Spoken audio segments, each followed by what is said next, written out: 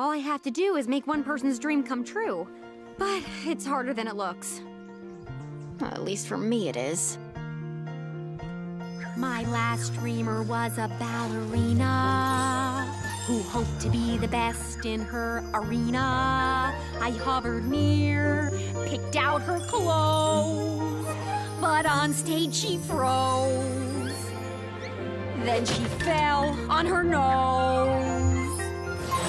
Before that, I helped a downhill skier. I conjured up skis and helped him steer. Did all that I could, but it wasn't enough.